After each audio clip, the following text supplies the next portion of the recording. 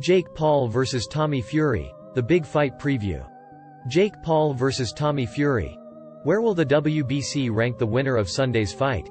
The two rivals meet in Saudi Arabia on Sunday night. After two cancellations, it looked like the two rivals would never go head-to-head -head inside the ring. But now Paul and Fury have weighed in ahead of their clash in Saudi Arabia on Sunday night. In addition to personal pride, a win for either fighter would earn them a WBC world ranking within the, the organization's top 40 cruiserweights which could be the start needed to make a push for a world title shot. Jake Paul weighed in at 183.6 pounds, while Tommy Fury was slightly heavier at 184.5 pounds. When is Paul vs. Fury tonight? Sunday, February 25. Main event ringwalks, approximately 10 p.m. Greenwich Mean Time, 5 p.m. Where is the Paul vs. Fury fight tonight? Diriyah Arena, Saudi Arabia.